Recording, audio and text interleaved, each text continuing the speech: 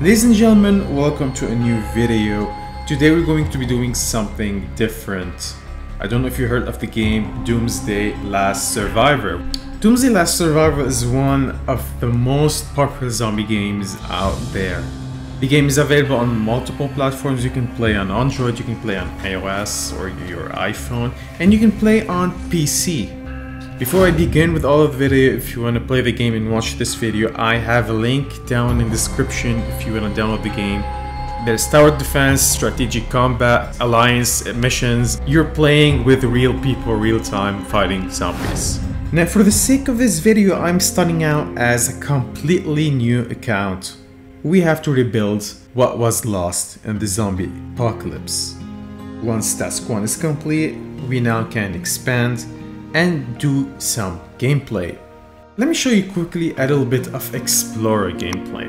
This is the PvE part of the game where you are playing yourself versus zombies or the computer.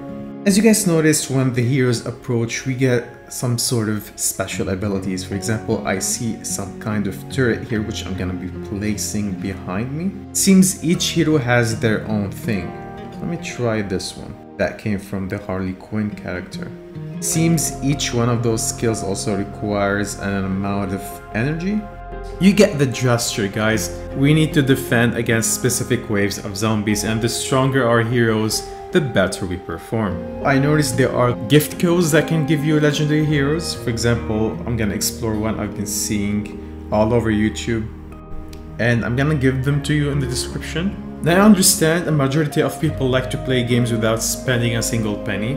I'm gonna give you in description gift codes you can use. You can get a few legendary heroes early game. Also I understand if you join through my link there are certain rewards. You might get a few diamonds, I need to check. Okay, okay guys, never mind. If you download through the link in description below, you get $200 worth of gift packs. Download the game, pick yourself a very, very new state get that $200 advantage, it's going to be legendary. Guys, this is quickly how the building and leveling up the shelter looks like. This is at level 3, this is a footage, this is not my actual base right now. You can use speed ups to boost your construction. I'm sure that $200 gift pack is gonna include tons of speed ups and you can get that early advantage. This is a bit later in the game, where you have additional buildings. You might get event buildings, for example. There's gonna be the Metal Slug event. I'm gonna be showing you on a different video. Collaborations just like the ones you're used to. Now, I can be a fan of badass heroes, especially if they're able to bring a hero like this one. Everybody likes a character and a story. As of now on early gameplay we have all these heroes. Not sure what they're called here, I'm gonna go with common to be the green heroes. We have the blue rarity, which I'm assuming is rare. Obviously, the more rare the hero, the stronger and more effective they are. But that doesn't mean that blue and green are going to be useless as you guys are familiar with. This is the epic heroes. I like the creativity in the heroes. They give each hero their own background based on their persona. Each hero has their own backstory and I'm sure when playing the game we can see each hero, how they join us, how we unlock them. Let's move on to the legendary heroes. That's a bit more my type. No, I'm not talking. I'm talking about the bike. You should know that.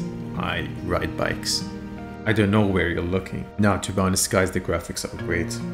If you notice, this is a Metal Slug 3 hero. Seems they added this hero part of a collaboration with Metal Slug 3.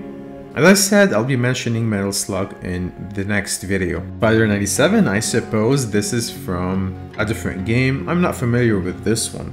That's interesting. I like getting heroes based on collaborations. I'm not gonna go through each one of them, well, except this one. This is Catherine Calamity. This is the first hero you can get, the first legendary hero, if you don't include the gift codes. Now on the top right you can see the available packs to purchase, which kinda look familiar to me. And it seems gold is the primary purchase currency. Let me share with you guys a few events in this game, which we cannot see right now on this account. But when you play, you get access to some sort of events like Bounty Ground or Tower Defense.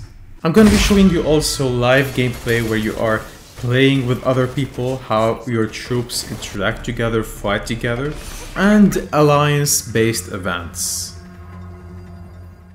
Let's begin with tower defense.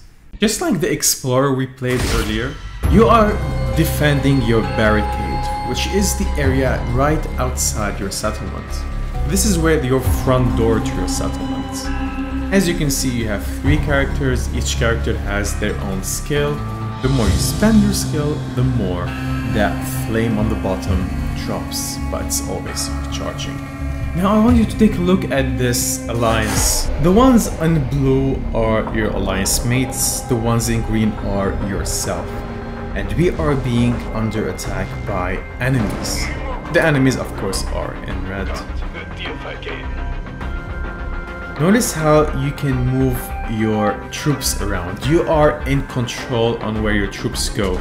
You can tell them to go in circles, you can tell them to go behind the enemy line. This is where the best part of this game is. To me here it looks like we're defending our territory. You know what, maybe it's actually us attacking their big base. We're trying to relocate them or remove them from this territory. They got in the way. You guys know how these survival games go.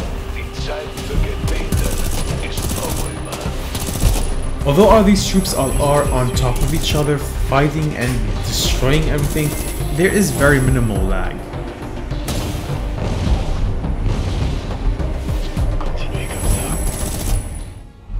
This is a different event, something like a reservoir raid. If you see how we are moving our troops freely, we can tell them each step how it should be. And on the top right, you can see the health and the power of your troop.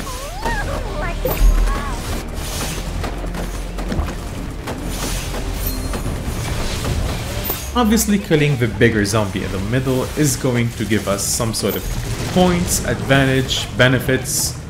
Get water points for our team by transporting water back to our camp, Commander. This is purely strategy gaming.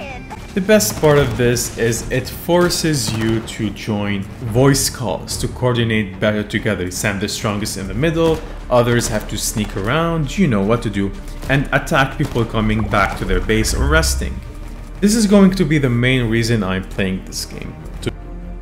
Once the game is over, you it shows you a summary who performed best, who did not, and who can improve.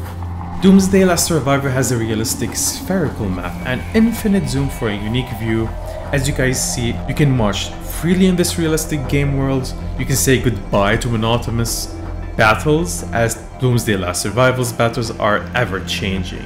Now guys, Doomsday Last Survivor is just not a game where you fight other people. You can also play in a very um, calm environment, you can play simply single player events if you don't wanna fight other people or if other people are stronger than you and this is a real life thing. You don't have to be in the strongest alliance to play this game. Let me show you this type of event. This is the zombie boss event, where you and your alliance create rallies, create attacks, and go together to fight this zombie which spawns in the middle of your base. Other players cannot interfere. So unfortunately, it's very hard to play without an alliance. You should join an alliance, join forces together, and survive, explore the world, and defeat zombies. Also, if you notice, you can see some sort of buffs happening. These are the hero skills. This is what separates each hero from the other.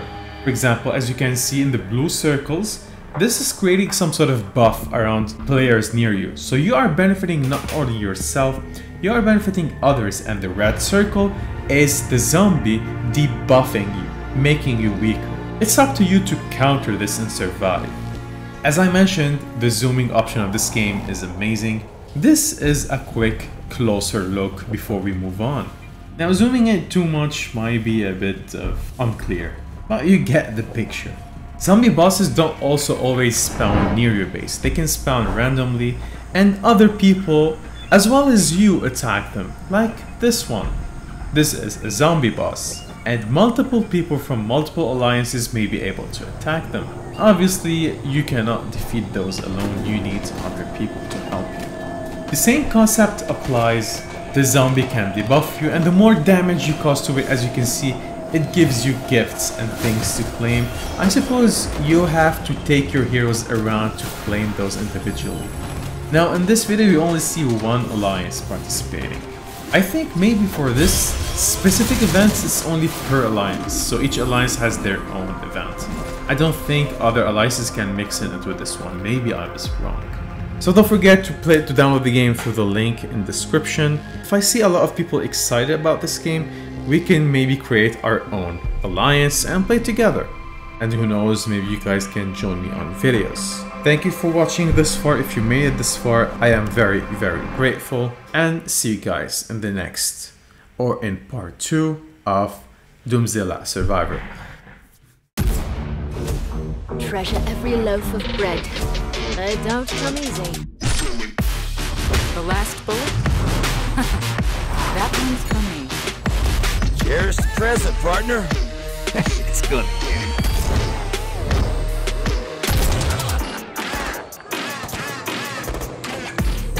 say this once. Get out of my territory!